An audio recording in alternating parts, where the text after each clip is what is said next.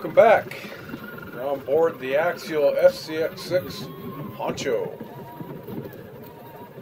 Looking through my uh, Insta 360 uh, 360 lens right now.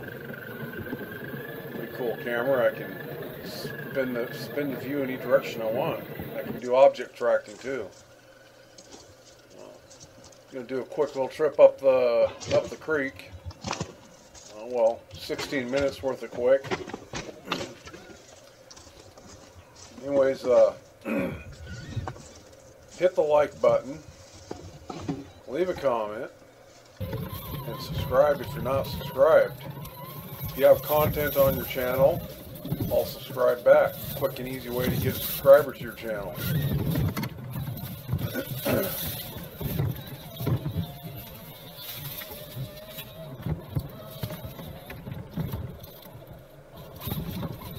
think on this day I, I ran here, then I went, jumped in the car and uh, went to another spot and ran at another spot. And while I was at that spot, I ran my uh, Northwest Scalar Designs TRX4 and ran the uh, Traxxas Canyon uh, tires cut, the treads cut, and uh, the J Concepts landmines. Testing them both out in the creek. So that's those are the runs I did this day. Uh, it's uh, I'm editing this on April 30th. So I'm not sure when you guys will see this. It'll be sometime towards middle to end of March or uh, May, I mean.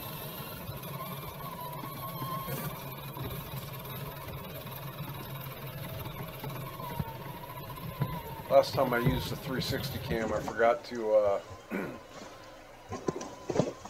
configure the settings in my uh, editor. And instead of 4K 360 video, I got 1080. The videos are still pretty cool. Just wish that the, the video quality is a little bit better. So, should be pretty good in this one.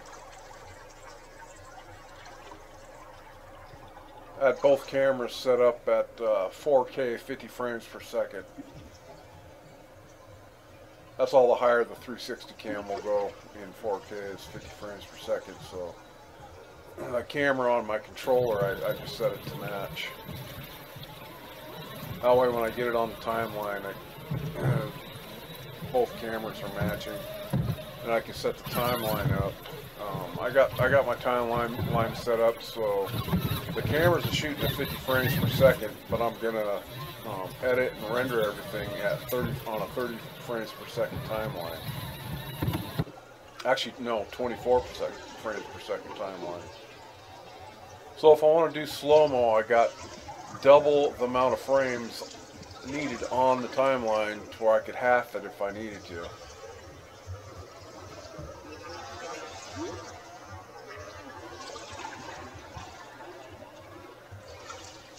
So if you got, uh, you know, say say you shot it in uh, 50 frames per second like I did, and you set your time up line up for 50 frames per second, it's just not going to come out looking as good, especially if you're slow-mo It'll still be good looking, but just not as good as what you can get away with um, by having your, cutting your timeline uh, FPS in half. The Honcho is rolling on uh, Proline Super Swampers with the gold method wheels. Um, the rears have the Proline dual stage foams. The front has uh, Three Brothers uh, anti-foams, I think they're called. Those 3D printed foams. Uh, it's got a servo, uh, yeah, servo mounted axle, axle mounted servo. God, I can't talk. It's got a got an axle mounted servo from G Speed. It's running the Shift RC's X5. Well, got the Vitavon uh, bracing system. It's got Vitavon trans transmission case. Um, front Vitavon overdrive gear, um, and then a rear rear Vitavon standard gear. Uh, it's running on Injora axles. I believe other than that, I believe everything else is stock. Other than I kind of made a little custom mount out of a piece of aluminum. And I got all my electronics sitting right up front, front under the hood. So I moved the electronics forward. And then that's my Insta 360 cam you can see mounted on the side. I, I made those little antenna things out of uh, uh, bicycle cable tubing, basically.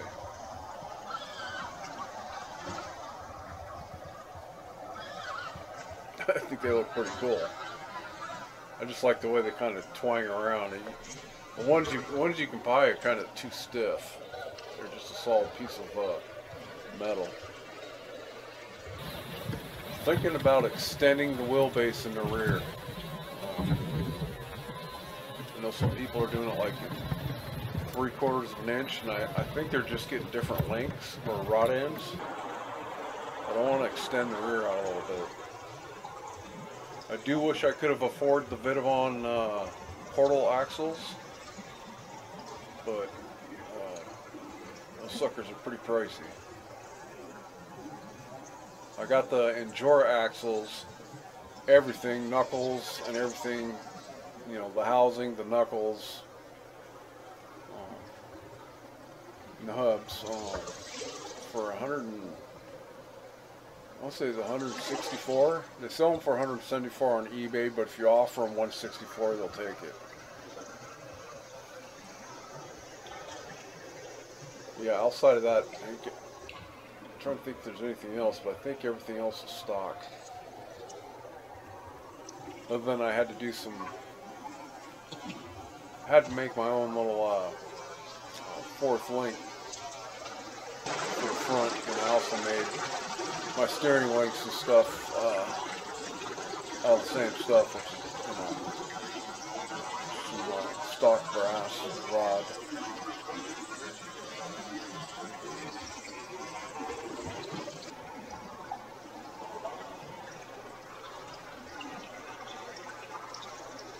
Fun truck. I haven't had her out for a while.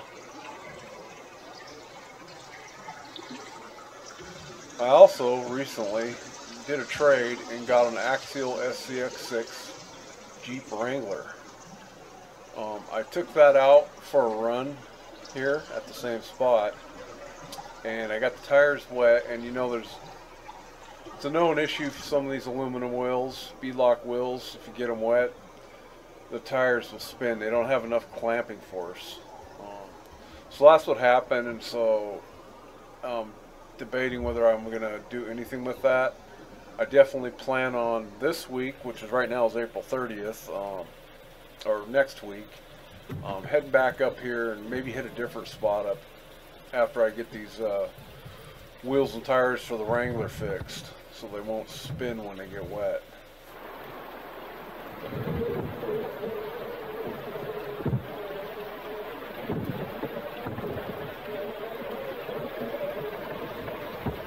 Yeah, you can see my little antennas that I made there. Just went and bought some a variety spring pack and found a couple springs that fit them. Some heat shrink and uh, I had some little things that I could use to mount that I, got a lathe here in my garage, so I cut a piece of grass cut it to size and then drilled and tapped it.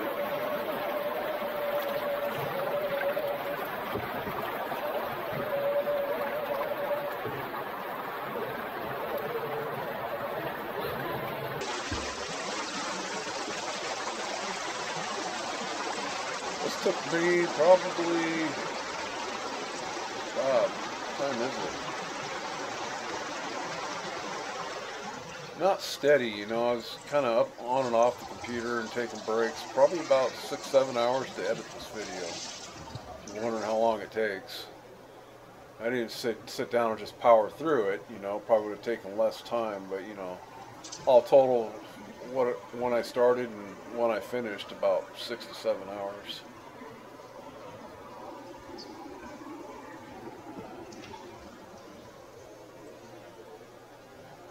It definitely takes longer when you combine two videos and cut cut little clips and, and intermingle them together.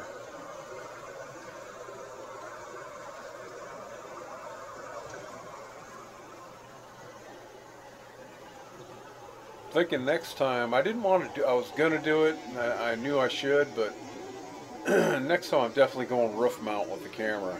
Um, and the side one was okay, but I did the one with my Defender, and that was mounted on my roof. And uh, I just like the ability you can look down and see both front wheels and the hood, and still see forward. So I think it, I think it just looks better.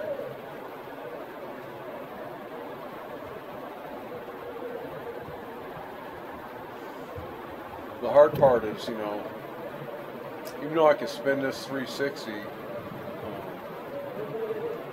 I got to know when I want to use 360 so I have to be off camera myself with, with the other camera and my controller. So right now I'm obviously, I, I made a conscious decision to stand behind the car so I can get some forward uh, shooting footage with the 360 here.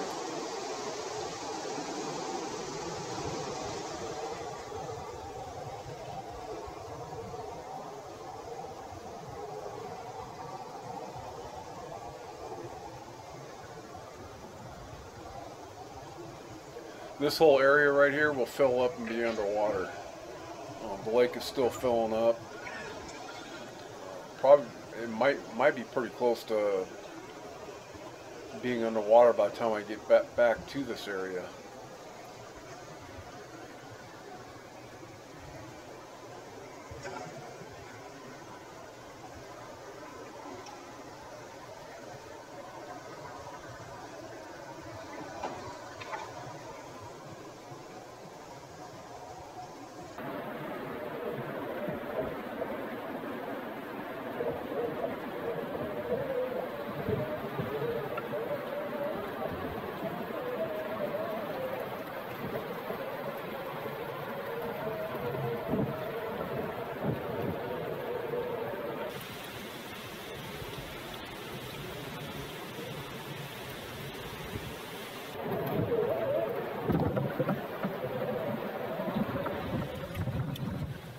So as I'm doing my editing, to, to, keep the camera locked in the rear position, I'm select, selecting targets. So I'm like selecting a rock, or I'll select uh, I'll select the tire mounted in the back of my vehicle, or sometimes I'll select the dashboard there.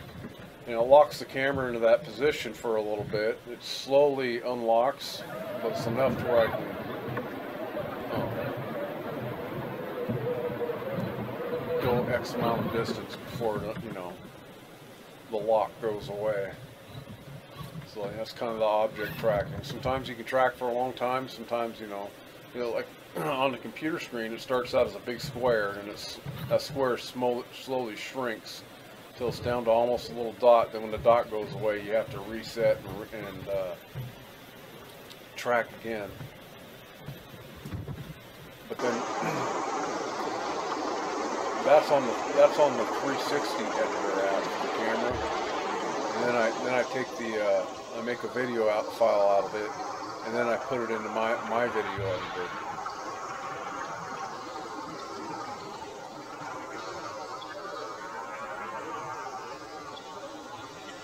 So I'm literally running it through two editors. The only reason why I put it through my editor is so I can do more with my editor.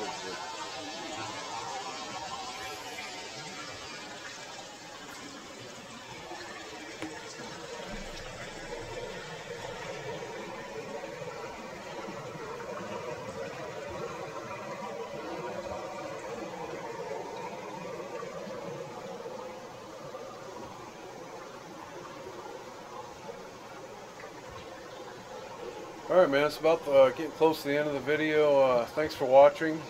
Um, hit the like button. Subscribe if you're not subscribed. And I'll subscribe back. Quick and easy way to, if you got content on your channel, I'll subscribe back. Quick and easy way to get subscribers to your, to your channel. yeah, smash the like button, leave a comment, subscribe. And uh, RC for life and peace out.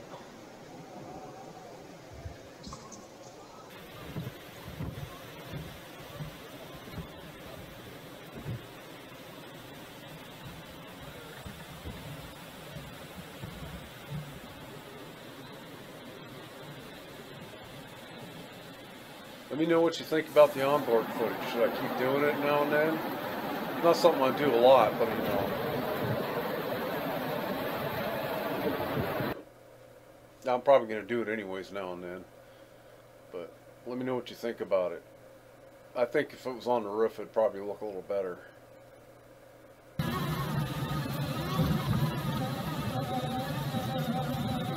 I just didn't want to drill a hole. We got to get a, uh, a mount of those little sticky mounts. So I need to get another sticky mount.